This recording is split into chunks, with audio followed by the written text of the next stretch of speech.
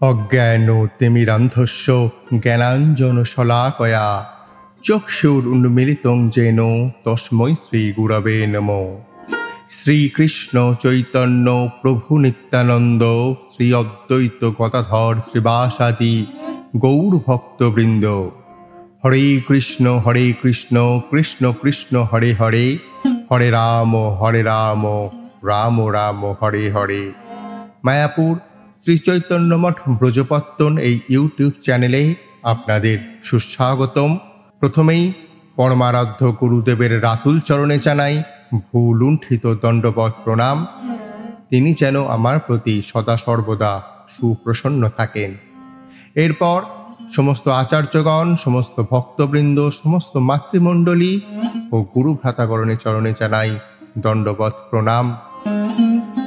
প্রতিবার এই চ্যানেলে যে ভাগবতীয় কথা ও একাদশীর ব্রত মাহাত্ম কথা আমরা প্রচার করি, আজও তার অন্যথা হবে না।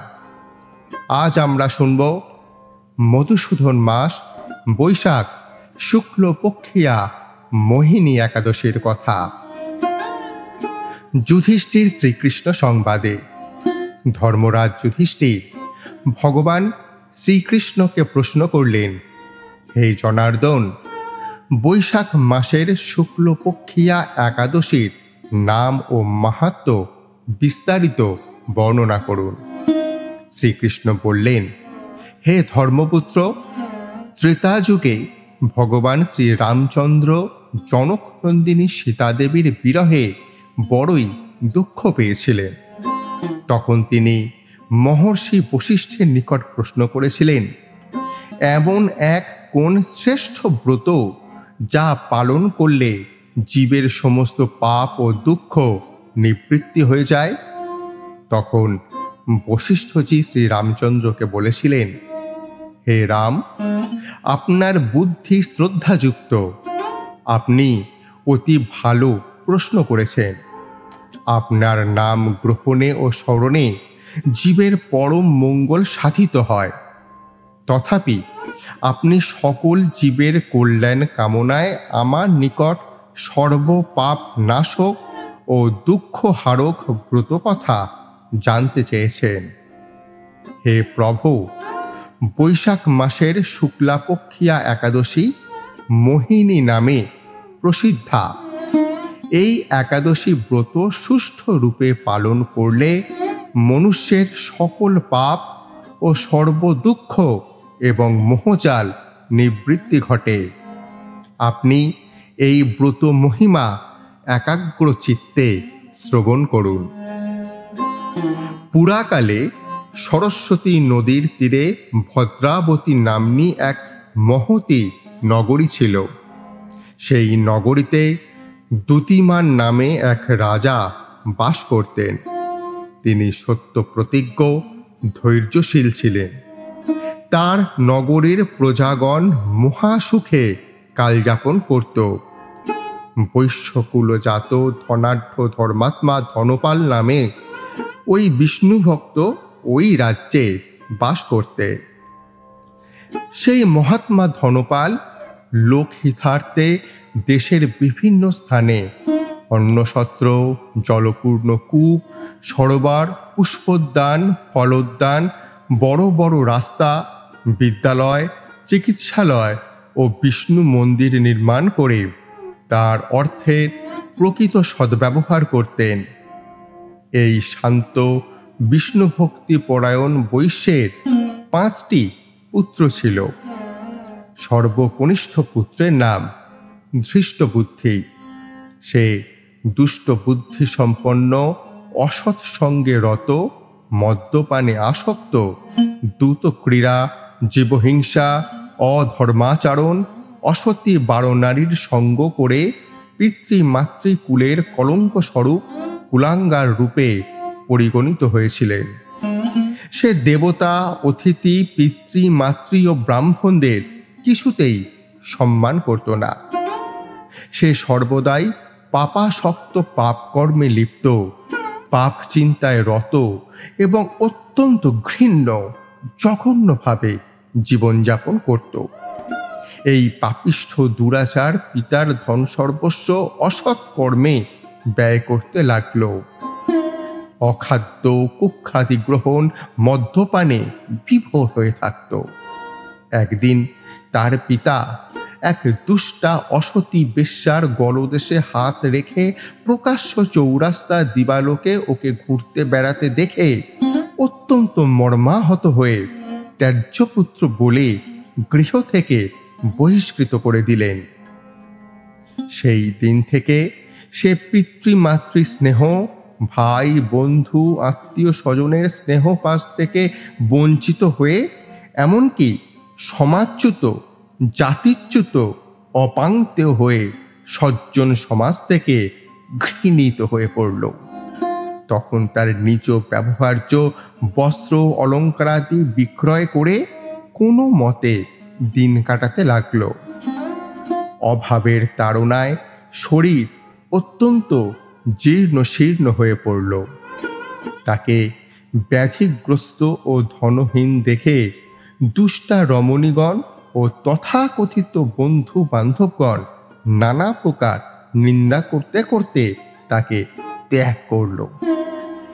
তখন ক্ষুধার জ্বালায় প্রপীড়িত সেই দুষ্ট চিন্তা করতে লাগল, এখন কি করি? কোথায় যাই? কোথায় গেলে দুমুঠো খেতে পাই? অনেকটা চিন্তার পর চুরি করা ছাড়া আর কোনোই উপায় নাই। তখন সে চুরি করার অভিপ্রায়ে নগরের চতুর্দিকে ঘুরতে লাগল।